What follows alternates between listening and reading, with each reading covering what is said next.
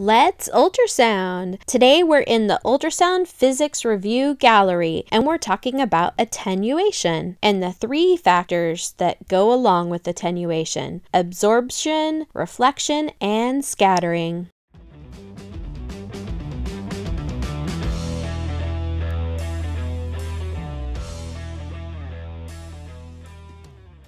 Attenuation is the decrease in the strength of a sound wave as it travels deeper into the tissues. The sound wave weakens. This also can occur as the sound wave travels through a dense structure, and this is measured in decibels, which is dB. Frequency and attenuation are directly related, meaning that when one increases, the other increases, and conversely, when one decreases, the other decreases. Depth and attenuation are also directly related. As depth increases, attenuation increases. Time gain compensation, the TGC control on an ultrasound machine, compensates for attenuation by boosting the ultrasound signals at deeper depths. And note that the attenuation rate is different within different types of tissues. So, air attenuates greater than bone, lung attenuates greater than soft tissue, blood attenuates greater than fluid, and you can see this arrow on the bottom of this slide. Water has the least amount of attenuation, where if you move to the right hand side, lung has the most amount of attenuation of the sound wave. Also, note that there's a large amount of attenuation at an air and soft tissue interface, where those two types of tissues intersect, and also at a bone soft tissue interface. And attenuation is caused by three things absorption, reflection, and scattering.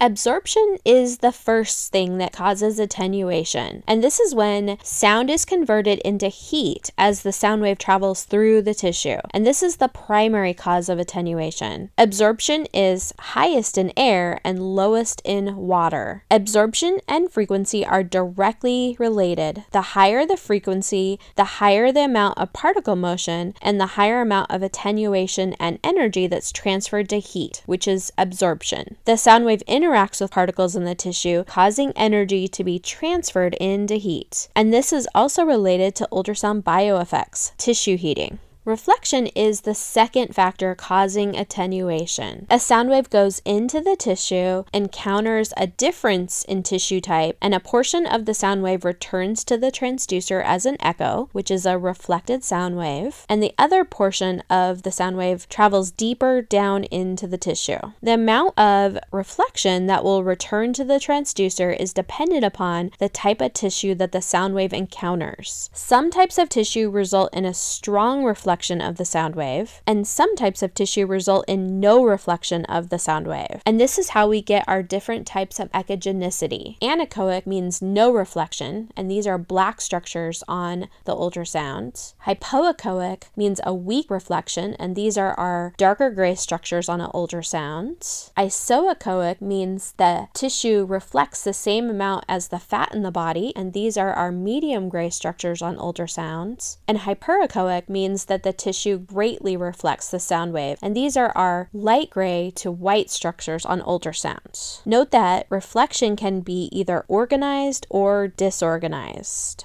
Scattering is the third factor that causes attenuation. If a sound wave hits a surface with irregularities, the sound wave is redirected in multiple directions. And there's two things that can cause a surface to be irregular the size of the surface, meaning a small surface, or the texture of the surface, meaning a rough surface. The scattering can either be organized, which means it's redirected uniformly, or disorganized, which means it's a non uniform redirection of the sound wave. Organized scattering is also known as Rayleigh scattering, and this is when the sound wave hits a surface a lot smaller than the size of its wavelength. The sound is uniformly scattered in all directions. They call this omnidirectional. Disorganized scattering is also known as backscatter, and it also can be called diffuse reflection. And this is when the sound wave hits a rough surface, the sound wave is scattered in a disorganized reflecting in multiple directions.